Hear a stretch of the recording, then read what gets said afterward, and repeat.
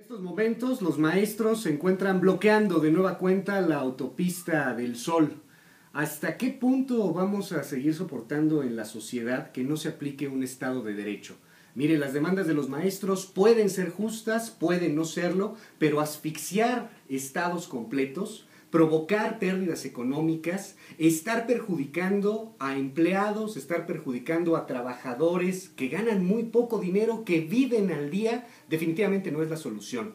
Yo le pregunto qué pasa con los músicos en los restaurantes de Oaxaca, por ejemplo, los músicos que andan tocando de mesa en mesa, que le cerraron, le cerraron por completo algunos restaurantes o algunas zonas, o simplemente no hubo clientela y entonces se quedaron sin chamba se quedaron sin llevarle el pan a sus hijos durante ese día o a los vendedores que trabajan por comisiones en eh, los centros comerciales también. No hubo chamba, los maestros cerraron y con el pretexto de la lucha sindical, con el pretexto de la lucha social, asfixiaron a un Estado de la República. ¿Con qué derecho pueden entrar a medios comerciales, a medios de comunicación privados y así tomar, tomar el micrófono? Lo que está sucediendo en estos momentos son una serie de delitos. Bloquear una autopista federal es un delito. Esto no lo vamos a ver en Inglaterra, esto no lo vamos a ver en Estados Unidos, esto no lo vamos a ver en Europa. Esto que está sucediendo en México es necesario y urgente que se aplique el Estado de Derecho como va. No podemos seguir jugando a la simulación.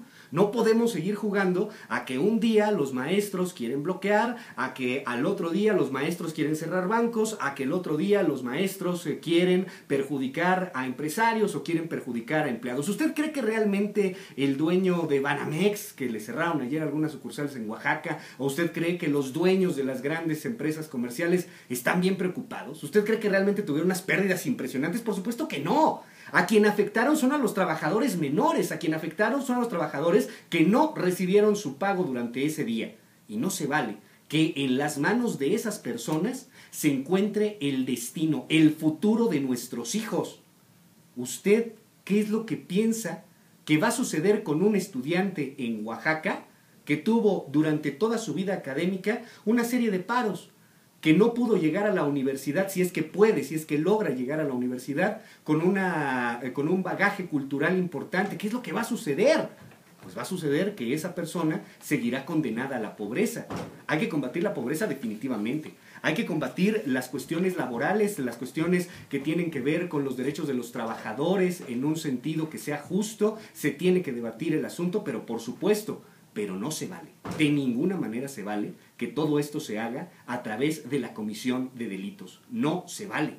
O tenemos Estado de Derecho o tenemos simulación. ¿Qué es lo que hay en este país? Vamos a estar hablando del tema de los maestros en este espacio informativo. Y también, antes de comenzar, hay que hacer una aclaración, porque es, es muy importante señalarlo. No todos los maestros son como los maestros que ayer estuvieron lanzando piedras y rompiendo vidrios en el Congreso allá en Guerrero. No todos los maestros son como los maestros que están bloqueando la autopista del Sol o que están provocando caos vial en la Ciudad de México. Hay muchos maestros, muchos más, que están comprometidos con sus estudiantes, que están comprometidos por tener un México mejor, un México de justicia, un México que avance hacia el futuro. A esos maestros el reconocimiento y el orgullo. Ser maestro debe de ser un orgullo nacional el ejemplo que están dando algunos de sus compañeros es muy lamentable, porque por unas manzanas podridas a veces se termina, se termina pudriendo la canasta completa. Enhorabuena por esos maestros que están trabajando día con día, arduamente, por el bien de sus estudiantes. Es la una de la tarde con seis minutos. Yo soy Luis Cárdenas. Comenzamos.